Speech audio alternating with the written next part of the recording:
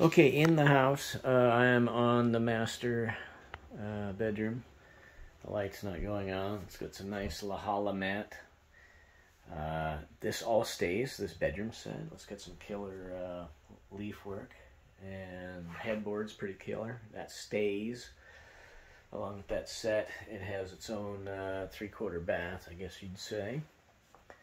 With a uh, walk-in corner tub. And this is granite or it's not vinyl. So this is the back of the house. On the other side is another room, a standard room, good shape.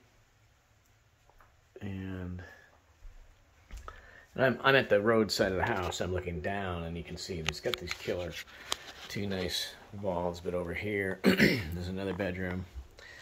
So the third bedroom. Coming down the hall. Bathroom's nice. Tile. Rock. Uh, one piece. One piece uh, tub enclosure. Looking out. It's got this cool little den deal. It's got a cool little work area. You stay. Um, cool Lauhala. Yeah, you can be at your desk and looking out over the ocean. Yes, yes.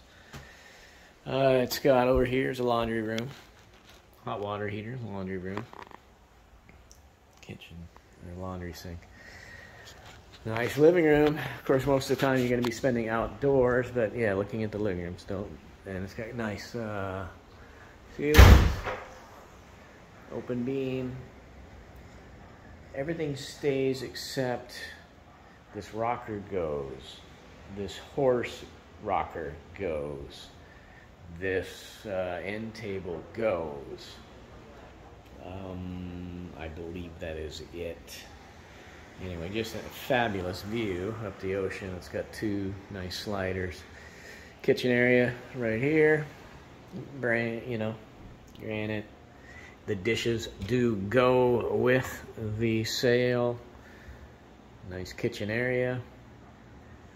Looking out over the ocean, up the coastline. Beautiful, beautiful, beautiful. Yep. Very nice. Very nice. Very nice.